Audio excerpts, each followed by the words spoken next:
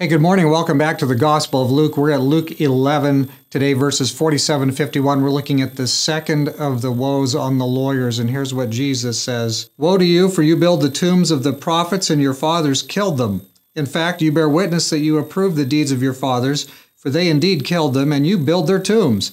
Therefore, the wisdom of God also said, I will send them prophets and apostles, and some of them they will kill and persecute that the blood of all the prophets which was shed from the foundation of the world may be required of this generation, from the blood of Abel to the blood of Zechariah, who perished between the altar and the temple. Yes, I say to you, it shall be required of this generation. So, the second of the three woes Jesus has on the lawyers here is they're sustaining these aged institutions. Uh, it's not that all things that are old or ancient are, are wrong. Of course, there are things that are true.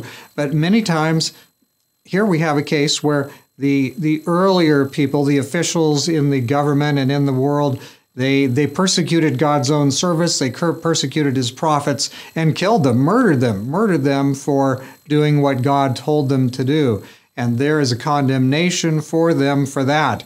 And so that's what you have here. Is Jesus is saying to the, the lawyers, you are sustaining these the, the behavior of your, your ancestors. And as whenever you sustain that, you are creating trouble in the world. You're people who are looking to authority, they're looking and saying, well, look, this this this is what has been happening for all this time. It's sustained by the people today. It must be the right thing.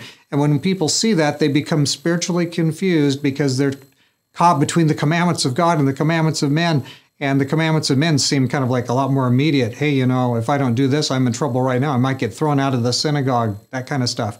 So, Jesus, woe to the lawyers here as you're sustaining the, the continuous corruption from ages past. When you make the tombs of the prophets and decorate them, but, your but, you, but your ancestors killed them. But you guys are kind of commemorating all this. There needs to be a strong break between the evil ethic and the true good ethic. And murder is an evil ethic. And when you murder God's servants, we need to make a, a total break there. Jesus is condemning that continuing practice. You know what? If they just keep it up, they're going to wind up killing some more prophets. And in fact, they may kill and murder even the Son of God. And we know that's imminent, don't we? So let's pray about this. Dear Father in heaven, Jesus had another word, another woe for the lawyers, and it's a grim one.